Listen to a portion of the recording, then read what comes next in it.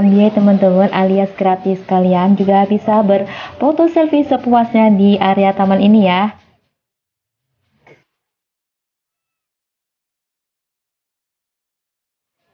Para pengunjung juga bebas membawa peralatan piknik sendiri ya teman-teman seperti tikar, makanan, dan juga bebas membawa mantan ya.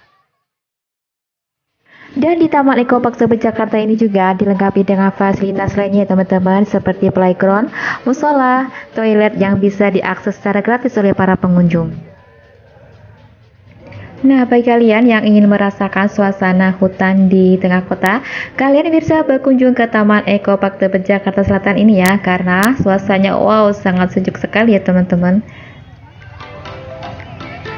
Dan semenjak dibuka, Taman Eko Park Jakarta ini tidak sepi dari pengunjung ya teman-teman. Banyak sekali warga Jakarta dan sekitarnya yang sekedar ingin bersantai di taman ini untuk menghilangkan uh, stres dan penat setelah seminggu bekerja.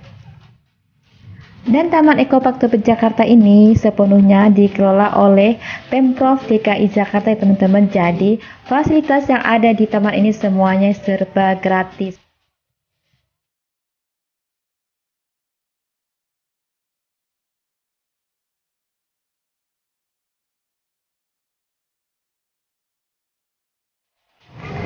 Teman-teman. Di jembatan ini nanti uh, jika malam di samping jembatan ini nanti akan menyala lampu-lampu di bibir di jembatan ini ya.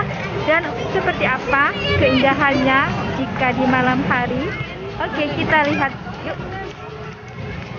Nah ini teman-teman suasana jembatan Eko pada malam hari ya. Teman-teman lihat di sini dapat banyak lampu LED keindahan eh, jembatan Ekopak ini ya Tuh. dan suasana makin ramai nih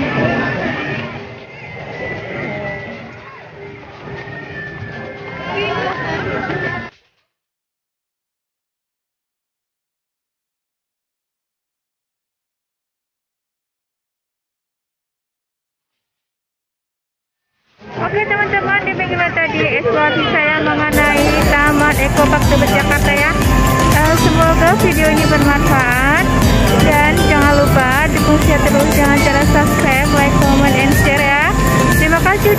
menonton. Sampai jumpa di video saya selanjutnya.